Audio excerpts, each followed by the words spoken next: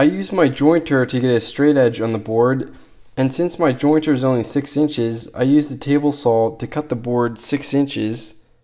I use the jointer to flatten one side, and sometimes it takes two passes if it doesn't get it in the first pass. For this project, I am using cherry and maple wood. Once I get the one side flat, then I use my planer to flatten the other side. And it usually takes about 3 to 5 passes depending on how rough the board was to start with. Now I am able to use either side and put it against the fence of my jointer to get a 90 degree edge.